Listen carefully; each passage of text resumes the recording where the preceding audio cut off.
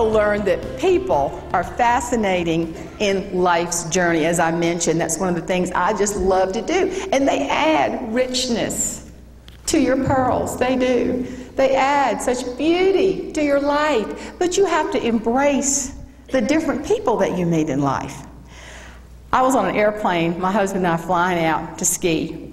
And we had a middle seat. That's when the airline actually let you have a vacant seat by you. And this woman got on, the most obnoxious Yankee. Excuse me, pardon me, where's my seat? I've got a center seat. Oh, there it is. How are you? I've got to put this in the overhead. I did not say one word. I just stared at her. I've never seen anybody like this in my life. She said, help me. I've got my luggage. How are you? I'm sitting down. She didn't stop. And my husband looks like if he could break that window, he would have been on the wing of that plane. So she sat down in the middle and she leans around and looks at me and says, Am I going bald? Look at my head. Do you see? Am I missing some hair? I just, I just shook my head. She said, I just went scuba diving in the Cayman Islands. It was fabulous. Absolutely fabulous. But they give you squid to beat the stingray. Do you know stingrays suck? They have no teeth. They suck. So this man, I did not know this, he put the squid in my hair and the stingray sucked it all out in my head. Are you sure I'm not going bald? I didn't say a word. I shook my head. She said, Look at my face. Am I swollen? Look at me. And I was scared of her by then. I was just staring at her. Am I swollen? I gave that man eight years of my life. Eight years. He broke my heart. He shaved his head and bought a Harley, went to Myrtle Beach, South Carolina, picks up a little piece of white trash, dumped me. I am so mad. I am so hurt. You see my fist? You see this? The next girl I meet from South Carolina, I'm going to give her this. Where you from? I said, Nebraska.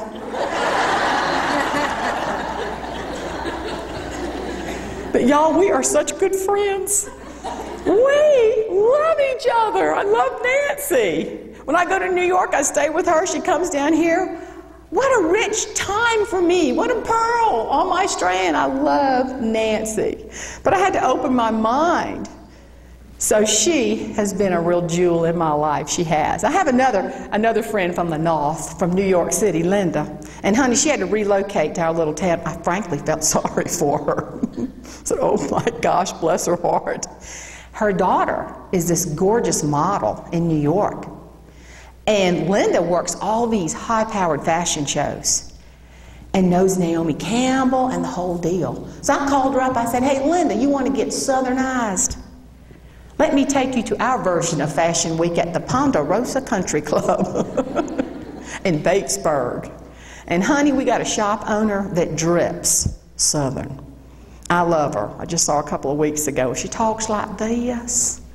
Hey, darling, you are precious. I love you. I don't know you, but I love you anyway. I love everybody. And she does. She genuinely is the sweetest person in the world. So we're at the fashion show, and here is the Southern Belle with the accent, and Linda and I are sitting by each other. And she begins to shout, Our first model is Martha Louise. Now, Martha Louise is local.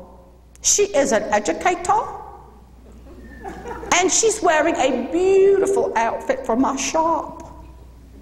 And it is the color green. Oh, but the fashion world has declared a new word for this color. It is not green, oh, no contraire. The new word is kiawea. And Linda leans over and says, She's trying to say kiwi. I said, Mm hmm. Linda leans back over and says, Heavens above, I think I just pee a weed in my panties.